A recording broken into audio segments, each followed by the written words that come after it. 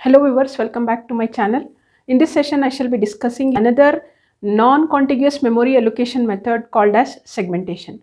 So previous sessions, I have discussed all about a technique called as paging. Now let us see the other technique of non-contiguous. It is called as segmentation and this is the uh, setup segmentation diagram or the hardware for the segmentation given in the textbook. But before I uh, explain uh, considering the diagram, the whatever is mentioned in the diagram, let me tell you first exactly the background for this particular topic. Now the word segmentation is like you are having a program, okay, and the program has got different segments. Let us take in a simple manner, you have the different segments. Normally what was happening is from user's point of view normally suppose if i am typing the program i am the user. From my point of view it is what i it is more convenient for me if i have to tell that yes my program consists of so many segments and each segment is placed in so and so uh, location in the ma main memory. But in the paging our users our view that means the user's view is mapped into what? Physical memory. But here it is not like that. The users the segmentation supports the user's view so that's why I have written here segmentation supports user's view of memory. Whereas in paging, user's view of memory is mapped onto physical memory. So it is more convenient for the user also to see that how the different segments of a process are getting placed in the main memory or the space for the different segments are allocated in the main memory. So let us take one example here. This particular program has got four uh, seg of uh, yeah five segment one two three four five 5 segments. Okay this is segment 5 okay 5 segments are there. Now suppose if i am telling okay all these 5 segments are stored in the main memory. Let me tell you that yes all these 5 segments are stored. But from where it is stored? From which particular address it is stored? It's it, it is like this very simple. Let me take for example uh, it starts from uh, some 2000 okay fine. First segment so let us take segment 1 or segment 3 or segment 4 anything. So let us take first segment because as and when we find a space available in the main memory, the segment is allocated in the main memory. Suppose first if the segment 3 is appearing, it is because that first segment 1 and segment 2 were placed earlier. Then later when this memory space was available, segment 3 came. So it is starting from 2000 and it is ending at 2500. So its size is how much? 500. So let me write segment size is segment 3 is of what size? 500. Fine. And what about its starting address? It is starting at, at from which location? It is starting from 2000. So what I can do is I can write like this. Its uh, uh, base address is 2000 and its limit or size is or in very simple words first let me write size only then I will tell you about the limit. It, it is having what 500. So this is for the segment 3.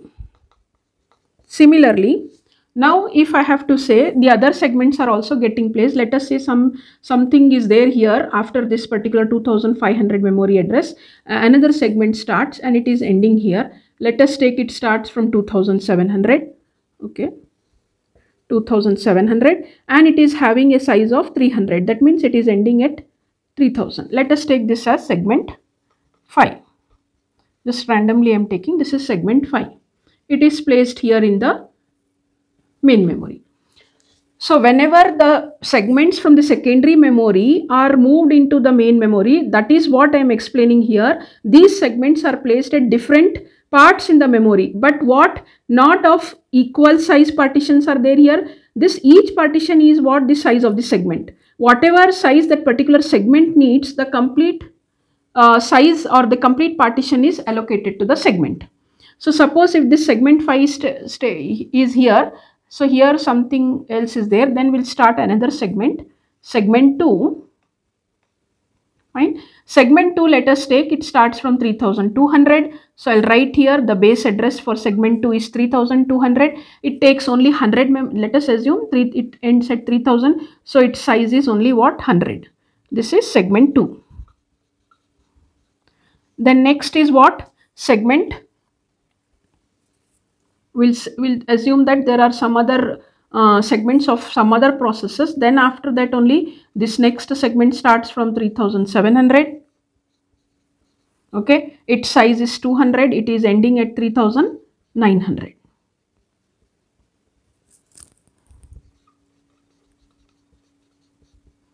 so let us take this as segment 4 fine next one more segment because I have taken an example of 5 segments. Similarly that's why I want what I'll do is I'll place all the 5 segments in the main memory. Then we'll start one more segment that is placed here.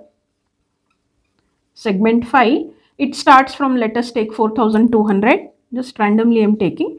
It is having a space a size of 500 so it will end at 4700 this is what segment 5 so now if I am maintaining at what particular address each segment starts and what is the size of the each segment that becomes a segment table. Similar to the page table what you have learned in the previous session, here you are maintaining what segment table. The reason is now come to the diagram because the logical address is generating the segment number and the offset value. Previously paging technique was generating the page number and the offset value. Here the CPU will generate the logical address which consists of what? Which consists of segment number and what? The offset value. These two. That's why if you see here the arrow direction, the segment number is searched in the segment table. Now whatever segment table I have written here, okay, this particular table you assume there. So it is searching whatever segment number. Suppose if the CPU is generating a logical address and the segment number is 3, then it is searching what? Segment 3 in this segment table. Suppose if this is the segment 3, which I am pointing here, then it will look here what is the size and what is the base address. Both this information are present in the segment table. And moreover, since it, the size of the segment table is there for every segment, that is the reason it should not cross that particular size. That means the limit value is used here in order, uh, we have to compare that limit value with this particular technique. So from where this I have to bring the arrow direction now, I have to compare the limit value with this comparator unit. So how it will work? Segment, now I am taking one example here, segment 3. Where is segment 3? Segment 3 is here. So its limit is how much? Limit or size I can use. So limit value is how much? 500. So that means if segment 3 size is 500, then the locations from 0 to 499 are valid for segment 3. And that is what should be one of the values in the offset or the displacement.